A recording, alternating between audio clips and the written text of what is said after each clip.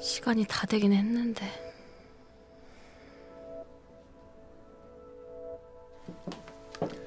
생일 축하해. 어떻게 알았어요? 아 뭐야 저 진짜 말한 적 없는데 어떻게 알았어요? 초는 집에 와서 가족이랑 켜. 아 뭐야 아 이렇게 안 해도 되는데 아 진짜 깜짝 놀랐어요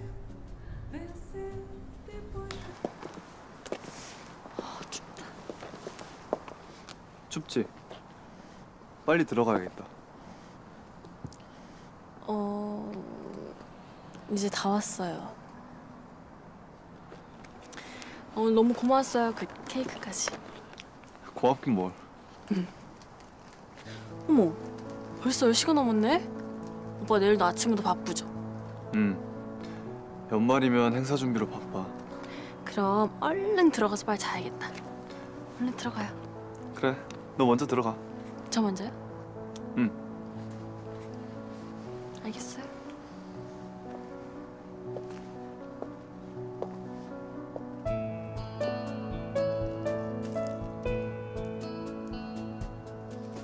들어가.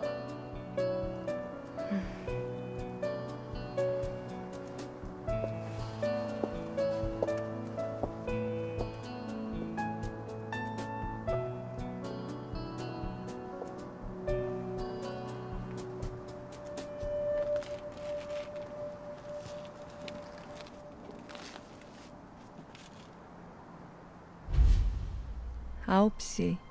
늘 보던 곳에서 기다릴게.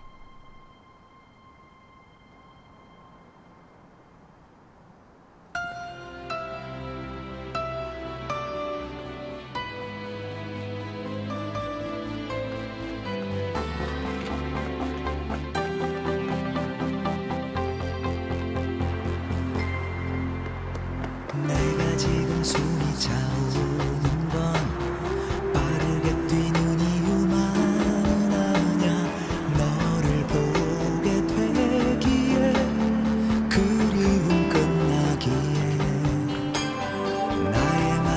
약속들 가운데 이렇게 갑자기 찾아들었고 며칠 밤이 길었던 약속 같지 않은 기적 너와 헤어짐에 자신했던 짜라잔.